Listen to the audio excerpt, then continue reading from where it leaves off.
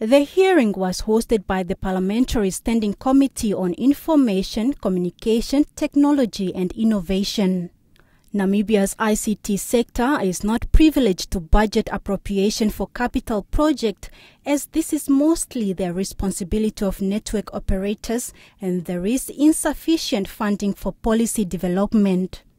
The director of ICT, Linda Haipinge, says the motion should also consider introducing some tax incentives in the sector to reduce the cost of devices that will allow end users to access internet or Wi-Fi. And I think the biggest issue, if, if, should there be any pronunciation that then Wi-Fi should be rolled out throughout the country, we, we have to have a funding models. How is that going to be funded? I mentioned that as from the Ministry of ICT, um, the directorate, for example, responsible for ICT development, we don't get funding for capital project. It's just operational so if, if this motion then has to go through, it has to be accompanied by funding models. The Director of National Institute for Educational Development, Dr. Patrick Simalumba, stressed the need to address ICT infrastructure and continuous connectivity in schools. Dr. Simalumba revealed that currently 33% of the schools do not have electricity and 700 other do not have internet connections.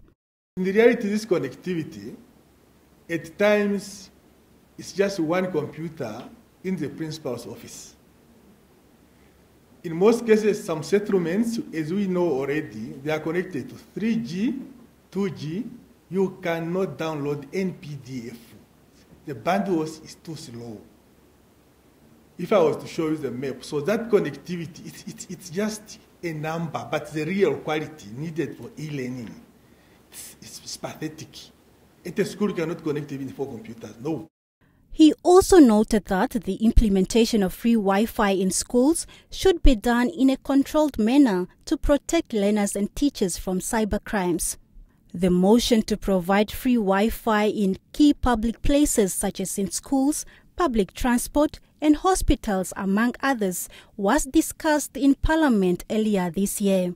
Our responsibility here is to ensure that at the end of this engagement, we should come up with an implementable way forward that would eventually create an environment where our youth from underprivileged families can access information using a free Wi Fi.